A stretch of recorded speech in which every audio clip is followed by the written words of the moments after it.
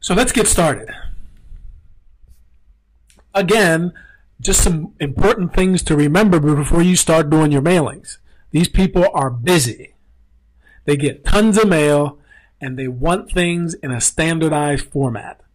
So if they have to look for stuff, if, they have, if you make them do any extra work, what you're doing is you're lowering the probability that they're gonna they're gonna really look into your materials, do research, call you or whatever. If you make them work too hard, they might not do it. You want to make it as easy as possible for them to call you in. So this is what we're going to do.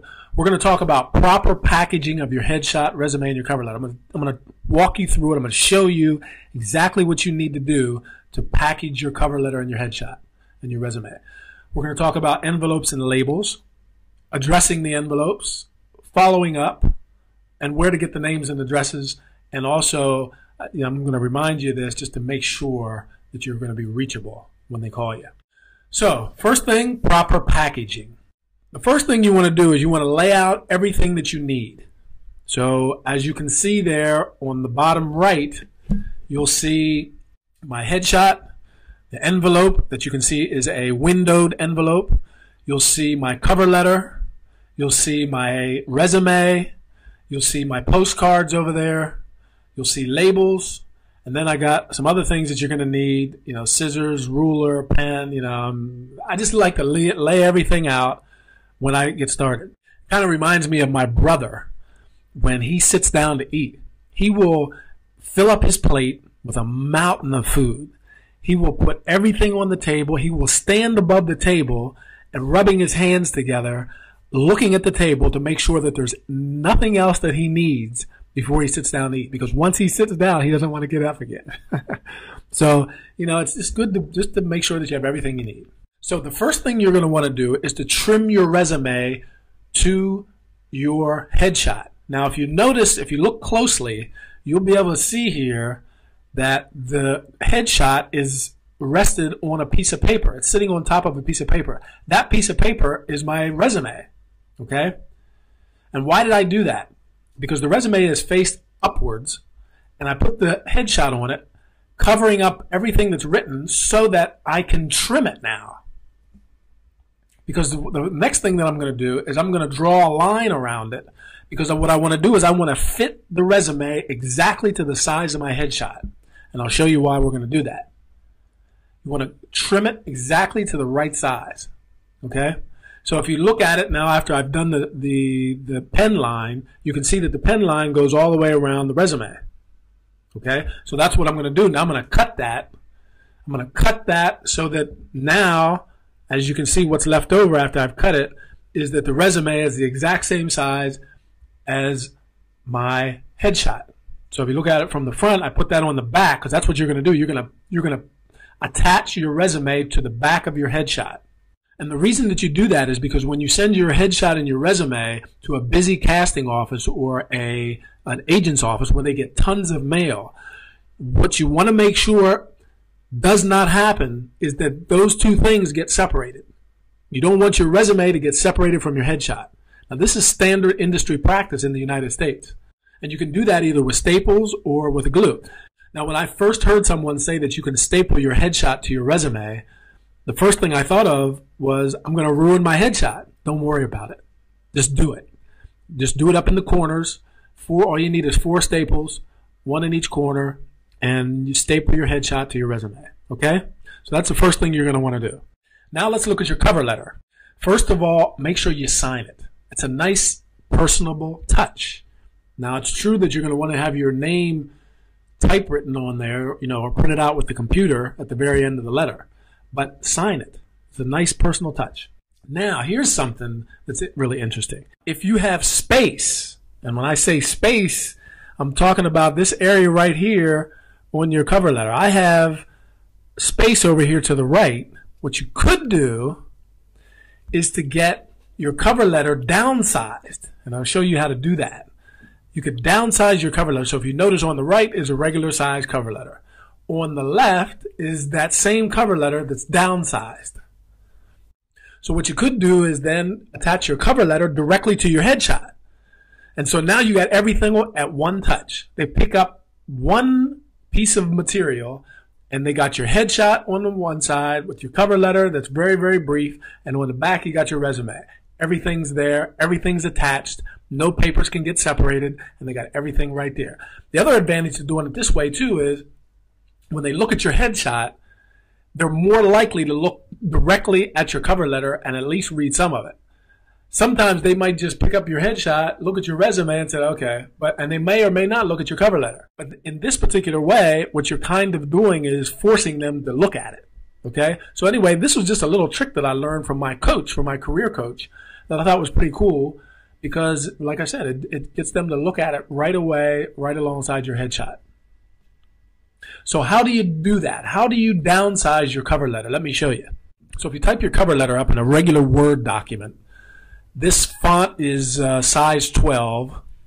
And so this is what it looks like. This is what it would look like if I were to print it out normally. Okay. Now what I want to do is I want to downsize it because I want to I want it to fit on the right side of my headshot in this case. And I and I will reiterate if you have space to do that. You might your headshot might not allow you to do this. But if, if it is, then that's great. So what you want to do then, you want to go over to the margin and you want to drag that over to about halfway down the page and there you go. Okay. Now, if you print it out like this and leave it the same font, it's still going to be too big. So then what you're going to want to do now is to go up to format, look at the font, and then use a smaller font. For example, size 10. But you can have to you have to test this out yourself. And now it's it's a completely different story. So now it's this is the size that I used on the example that I just showed you. So that's how to downsize your cover letter. Now, here's something else to think about. You've written your cover letter. Your cover letter has your personal information on it. It has your email address, it has your personal address, and it also has your telephone number on it. Now, those are things that you might not want everybody to see. I didn't want everybody to see that. And why am I even talking about this? Because if you're going to be sending out your headshots in a windowed envelope, then so you might consider folding your cover letter so as to not reveal your personal information to others. Because like I said, you know, if you're on the windowed envelope, everybody's going to see your headshot and your cover letter. If you don't want everybody to see your cover letter, then fold it. So then it'll look like this when they pull it out of the envelope, and it'll also look like this to whoever sees it in the window, in the envelope. Then there's mailing labels. Now, if you don't have labels and you have to send out 100 or 150 packages, that's a lot of work and it's a lot of time. And labels can help you to cut down that amount of time considerably. So if you're going to a big city, it's probably going to be easier for you to get to buy labels, to go actually to go to a store, Barnes and Nobles or the Drama Bookshop in New York or Samuel French and buy those labels because they have those labels. You can also buy them online at some places. I'm going to show you mm, a couple places where you can maybe get them. But there's another alternative, even if you don't have this luxury. Now, it's going to take some time anyway, but it could prove to save you time down the road. And that is to put the addresses, the names and addresses of the people that you want to contact in a document and use a software and buy the, the paper and the adhesives that you need, the stickers that you need, and then print out your own labels. You could do that too. You could print them out and then you could just paste them on the envelope. It'll save you a lot of time. It's going to take you a lot of time to set that up in the beginning, but once you do, because like I said, you're not going to be just sending out mailings once. You're going to be sending them out multiple times. So the first one might take you a long time to set this up, but then after that, all your future mailings are going to go a lot quicker. Okay? Because, you know, all you have to do is just peel them off and paste them on the envelope. It saves you so much time. I'm telling you. Okay? So then there's the finished package. Now, like I said, I've written on the top because I didn't have any labels for my own address, but you could print those out too. You could you could make your own labels and print those out and put that up there so you don't have to write that on each and every envelope. And then that's what the front will look like if you have your windowed envelope. Okay? There you go. It's that simple. Now let's talk a little bit about your postcards. Now, as you know, you got your headshot and you got your postcard. So here's a little technique that, that will help to set you apart from others if your situation is like mine was a few years ago, where I was coming from another country, going to New York, and wanting to get acting work. So if you remember correctly, one of the approaches has you send your postcards first. And then as you get closer, you send your big package with your headshot, your resume, and your cover letter. And that's what I was advised to do. So I sent out my postcard first with my headshot on it, with my picture on it. And then after sending postcards out like that two or three times, then what I did, since I was living in Italy, then I sent postcards of different landmarks in Italy. So I sent one of the, the Colosseum. And then the next time I might send one from the Vatican. And then I would go back and send another one with my headshot on it. So this was really, really cool. And this was a great suggestion by Brian O'Neill because what happened was when I got to New York and I called some of these people and I said, hello, my name's Anthony Smith. And one of the guys even said, oh, you're the guy from Italy. And I was like, yeah, that's me. He said, yeah, we, we used to get your cards. They're nice, nice cards. And so that made me stand out from everybody else because there's not a lot of other actors that do stuff like that. You see what I mean? So you want to try to use everything that you can possibly use to stand out and be different. We're going to talk a little bit more about that. No, we're going to talk a lot more about that when we talk about actually marketing yourself. But that's one of the keys. So it was just a little technique. So I thought it might be interesting to you.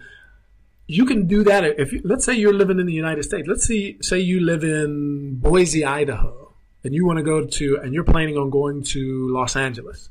You could do the same kind of thing and send maybe postcards with potatoes on them. You know what I mean? Or potato guns or something like that. You know, in mixing them up with your headshot so that when you get there and you make those phone calls and you contact the people and you tell them that you're back or that you're here, you know, you're going to be the guy who used to send us potato gun postcards. So it's going to make you stand out, you know? And this goes for just about any country that you're in. So think about the things that you can utilize to make yourself stand out from everybody else. So why do we use postcards? One of them is is because they serve as reminders to your contacts. So you send out the big package. Now you want to keep reminding them because one of the, the big mistakes that a lot of actors make, they send out one headshot, one resume, and one cover letter, and then they and they sit back and wait. Uh, that's not a good idea. You're just wasting. In a lot of cases, you're wasting time. You have to build on what you what you already started, and one way to do that is by sending out postcards. There's nothing wrong with it with sending out a postcard. And as a matter of fact, it's something that's pretty much in line with in- industry standards. That people do that all the time. Actors do that all the time. They show that you care about your career. It sets you apart already. That sets you apart from a lot of new actors who don't know what they're doing, and they'll send out that one headshot resume and cover letter and sit back and wait. Already, you're showing that you care about your career enough to not only send out postcards, but utilize them in the correct manner.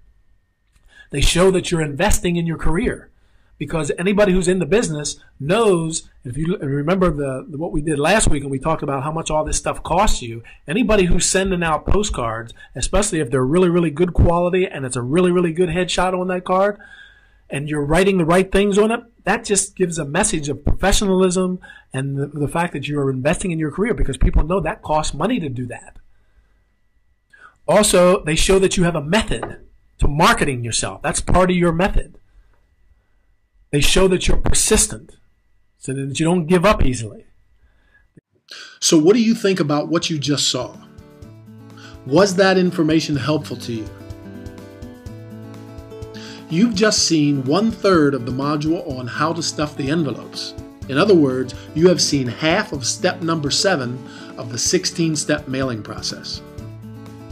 In this particular module, I then go on to talk about when and how often you need to send out those postcards, what to write on them, where to find the names and addresses of the casting directors and agents to whom you want to send those cards. I also talk about submitting online and how to do that correctly, and also another alternative to traditional mailings to get yourself noticed. Finally, I talk about what your chances are for getting called in and what you can do to increase those chances. And that is just one module of 24 total modules. So if you learned a lot in these last 15 minutes, just think of how much you can learn about starting your acting career in the Acting Career Quick Start Home Study course. When I said I would walk you through the entire process of starting your acting career step by step, that's exactly what I mean. I'll see you in the course.